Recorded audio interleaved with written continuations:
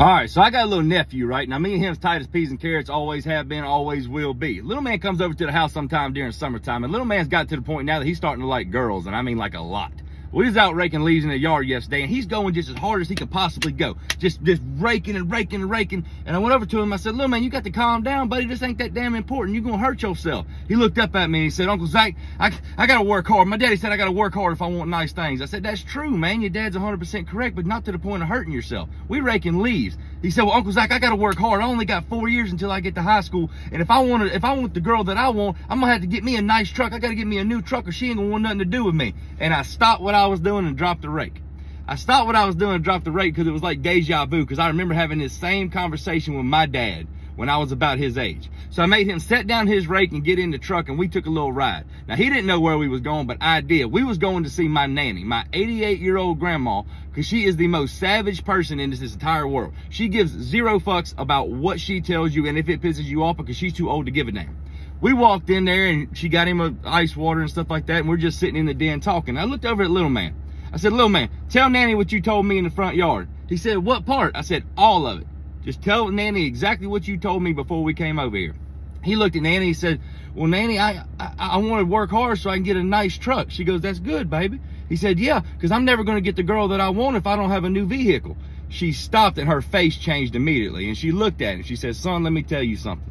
When me and Zach's grandpa got together, he didn't have no damn nice truck. When we used to pull up to the gas station, all right, he would fill up the oil while I checked the gas. That's how much oil that thing burnt. But we didn't care because we knew that if we stayed together, we were building something from nothing.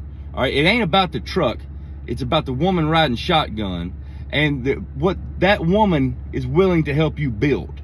Now, she went on to tell him, and I've never heard this before. She's never told me this before, but it was a great analogy. She said, it's not about the woman riding shotgun. It's about what she will help you build. Some women help men build playhouses. Over time, playhouses deteriorate. They fall down. But some women want to go through the hardships and everything to build something from nothing to be proud of their man because of how much love that they have for him. And some women help men build brick houses. Now, why don't brick houses ever deteriorate? The little man just looked around. He said, I don't know, Nanny. Nanny looked down and said, because it has a foundation. If you find somebody and you're already on top, you have nothing backing you up. You don't have any hardships, any hard times or anything like that to go through. You find you a woman that comes from nothing and you come from nothing and y'all build it together, you'll never forget them days where y'all was grinding and it makes you respect and love each other even more. And because of that, me and Zach's grandpa lasted 58 years in marriage until he decided to go to heaven. With that being said, son, don't mess around with them bitches. Who, and she said this. She goes, don't mess around with them bitches who want to build playhouses. Find you one to build a foundation with and build a damn mansion on. And little man, ever since then, has done nothing but talk about, you know, Zach, Uncle Zach, I really don't think I like that girl that I thought I liked. I, I, I think I think I'm gonna wait around for one of them ones like Nanny. I said, buddy, we could only be so lucky to find one of them women like Nanny. But you got to understand something. That was a different generation and they hard to come by. They out there, but you got to be able to pick them out of the rough. Great lesson from Nanny this morning. Had to share that with y'all. It ain't about what you got.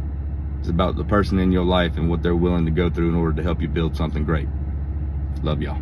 Shit.